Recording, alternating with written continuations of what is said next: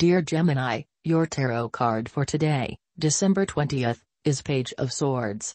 The Page of Swords is an intelligent, logical, and vigilant youth who brings along some sort of official news of change. While the changes could prove to be challenging, this card shows mental clarity and inner demons being settled and ridden from your life. It's a day to dissolve the fog and start looking at things with fresh and honest eyes. With a commitment to clarity, New ideas and a new sense of authority will be close on the horizon. Take things in hand and energetically start slicing through any fuzziness you've not wanted to look past till now. Are you happy with what you're seeing? If yes, go forward with strength. If not, figure out what you actually want, redirect yourself towards it and go forward with strength. In either case, you need to see things for what they really are before you can intelligently decide what your next step might be. This is no time to fool yourself. It's a time to take charge, be realistic and be strong.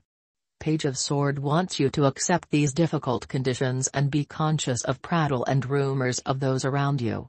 By accepting these tests and getting on them, you'll be more resistant. Page of Sword can also represent the child or teen in your life that is causing you problems. Now it makes sense not to enter new investment or major commitments. Unless it is in studying and learning skills. Love and private life. In love questions, the Page of Swords points to mild conflict. Know when to push and when to back off. Many fights and discussions are not actually worth having, as long as your partner is treating you with respect. Allow your partner to have his or her space.